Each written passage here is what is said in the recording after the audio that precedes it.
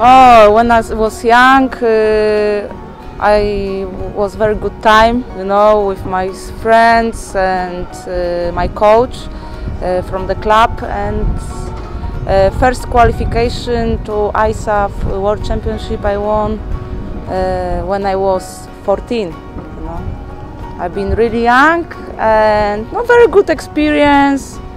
Uh, then I won another qualification to another World Championship uh, youth, and I won four times. I think I'm only one uh, youth girl. What uh, each time from 2000 to 2004, uh, I won this uh, event, and what I'm very happy from that.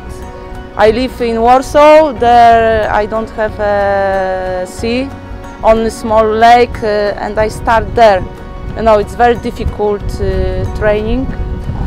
But if you want something uh, you want to be a champion you dream about that you can do everything you know. I i live in warsaw capital city and i training uh, my sport is windsurfing. I training this discipline and i'm world champion of that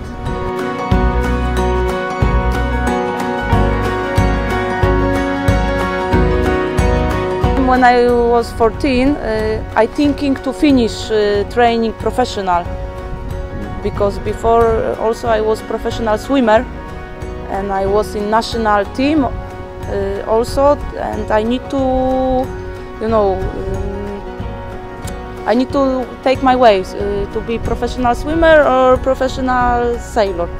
But I won this first uh, gold medal and I chose sailing.